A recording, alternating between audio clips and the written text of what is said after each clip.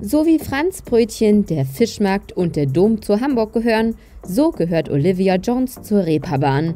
Die Kunstfigur ist weder vom Kiez noch aus dem deutschen Fernseh wegzudenken. Immer wieder versüßt sie uns mit ihrer charmanten Art den Tag. Doch wer steckt eigentlich hinter Olivia?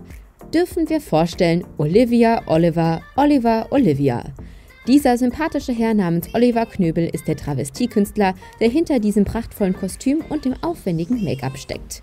Und so erkennen wir das TV-Sternchen auch kaum wieder. Statt schrillem Lidschatten, einer pompösen Perücke und viel Glitzer zeigt sich der Künstler hier ganz natürlich. Die Haare sind raspelkurz. Im Vergleich zu seinen Auftritten vor großem Publikum wirkt er hier sogar etwas schüchtern, doch sein Lächeln erkennen wir dann doch wieder.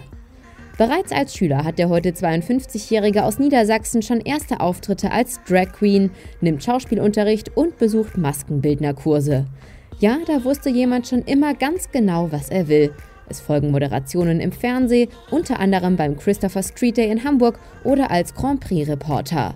Doch was darf als waschechte Kiezgröße auf keinen Fall fehlen? Richtig, ein eigener Laden. 2008 eröffnet Oliver die Olivia Jones Bar, gefolgt von einer Table Dance Bar namens Olivias Wilde Jungs im Jahr 2010. Exklusiv, sympathisch, bunt und laut, so kennen wir Olivia Jones.